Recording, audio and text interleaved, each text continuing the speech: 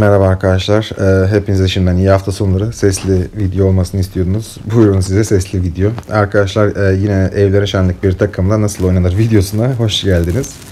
Ee, Port bir haritasındayız arkadaşlar. Tankımız Chieftain. Ee, biliyorsunuz Port bir haritasını zaten direkt Mets River yazıyorum. Yani direkt sağa gitsinler ki biz de e, bu C tarafından, haritanın sağ tarafından gidelim. Fakat pek öyle olmayacak.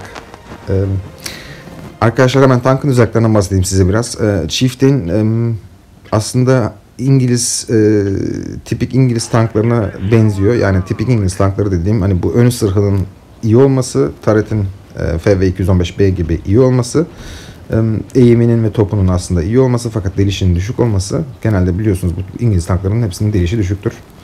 E, fakat akuretleri yani top dağılımları gayet iyidir.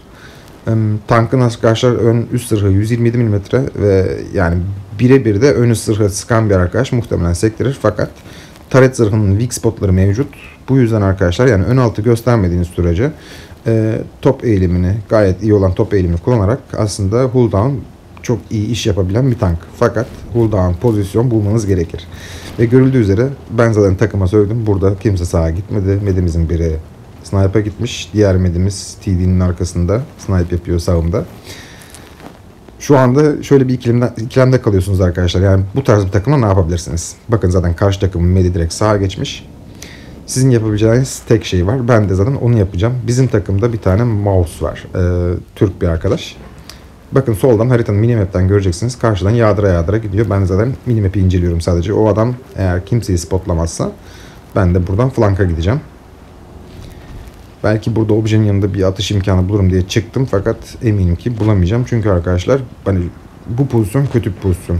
Gördüğünüz üzere hani hem karşımdan hani met tarafından adam gelebilir hem de önümüzden direkt adam çıkabilir. Bu yüzden arkadaşlar mouse'a bakıyorum zaten mouse'a dikkat kesildim.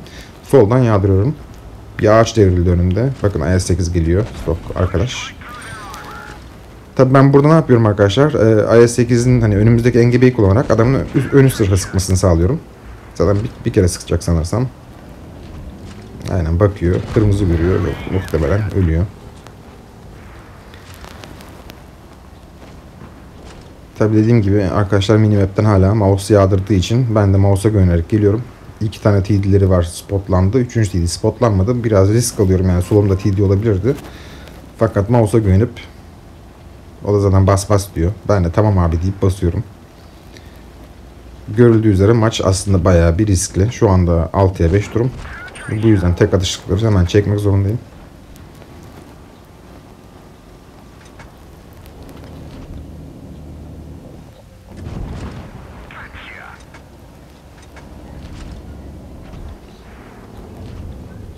Evet maç şu an e, 4'e 5 oldu.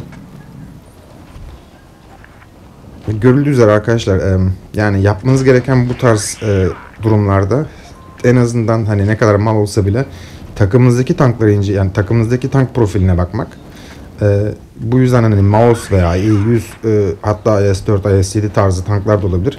Yani rakibi meşgul edecek tanklarla beraber e, hareket etmek olacaktır. Ben de öyle yapıyorum. Sağımda mouse var yani arkamda mouse var onun farkındayım. E, ve rakip onunla meşgul olacak. Her ne kadar bu mouse hani kötü bir oyuncu olsa da e, en azından rakip takım ona ateş etmekle ve sektirmekle süre kaybedecek ve bu sürede ben hani DPM'imi rahat bir şekilde kullanacağım şu anda olduğu gibi. Evet şu an zaten şu an 2'ye 5 kaldık. E, pardon 2'ye 3 kaldık. Fakat benim fark ettiğim tek şey şu FV 4202'nin en azından oyunu biraz biliyor olması. Mouse'umuz da zaten yağdıra yağdıra geliyor arkadaşımız. Pek oyunla alakası yok. Fakat görüldüğü üzere rakip mouse'la meşgul arkadaşlar ve bu süre zarfında ben artık hani ne kadar damage yaparsam benim yararıma.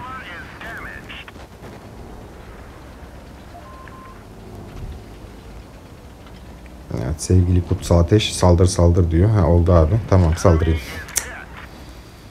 Arkadaşlar bazı oyuncular komik gördüğünüz gibi. Görüldüğü üzere zaten FV4202 dediğim gibi oyunu biliyor arkadaş. Direkt flanka koştu. Hatta bir de hash soktu. 550 çekti. Bayağı yani çok çekti. Yani damage'imi kullanmak zorundayım. Yani kullanmak zorundayım dediğim demecimi arkadaşlar saklamak zorundayım bu tarz maçlarda özellikle. Bakın zaten 2'ye 1 kaldım burada ve bu adam oyunu biliyor. Yani muhtemelen benden kaçacak. Bu yüzden önce bu adamı çekmeliyim. Yani dönüp ISD'ye sıkmak arkadaşlar burada yapacağınız en büyük hata olur. Neden dersiniz? FV siz delecektir. Bakın ISD mal bir arkadaş. Fakat FV kaçıyor. Gördüğünüz üzere akıllı oynuyor arkadaşlar FV. E bu yüzden hani ISD sıkmak bana hiçbir şey kazandırmaz arkadaşlar. ISD sıktığım an FV'den yiyeceğim. Bunun farkındayım. O yüzden FV'yi çekmek zorundayım. Her hani ne risk pahasına olursa olsun.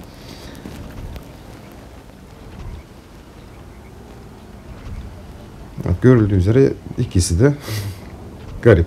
Ama FV'yi çekmek zorundayım. Yani bu şekilde. FV'yi çektik. 7200 demece ulaştık arkadaşlar şu anda. Mal ISD'miz kaldı önümüzde. Evet bir atış yaptı. Tabi böylece benim bir atış daha imkanım var. Ya arkadaşlar görüldüğü üzere taşı kullanacağım. Taşın yanında artı şurada bir engebe var. O engebeyi de kullanacağım arkadaşlar. En azından ön altımı saklayabilirim diye düşünüyorum burada. Bakın önü sırhım sıkıyor. Çünkü engebeden sağ olsun. Evet zaten bundan sonrası görüldüğü üzere benim için rahat maç oluyor. Burada normal bir bilgisayar atıyorum fakat delmiyor. Fakat en azından iki atış olduğunu bildiğim için e, ve DPM'in daha yüksek olduğu için rahat bir şekilde arkadaşlar maç alıyoruz burada. E, işin üzü arkadaşlar yani takımınız eğer bu tarz çok kötü bir takımsa ve yanlış yöne gidiyorsa takımınızdaki tank profilini inceleyin arkadaşlar. Eğer e, takip edebileceğiniz yani düşmanı oyalayabileceğini düşündüğünüz bir tank varsa E100, Mouse, IS-4, IS-7 takip edebilirsiniz. Ve bu tarz bir maç çıkarabilirsiniz arkadaşlar. Umarım video hoşunuza gitmiştir. Hoşçakalın arkadaşlar.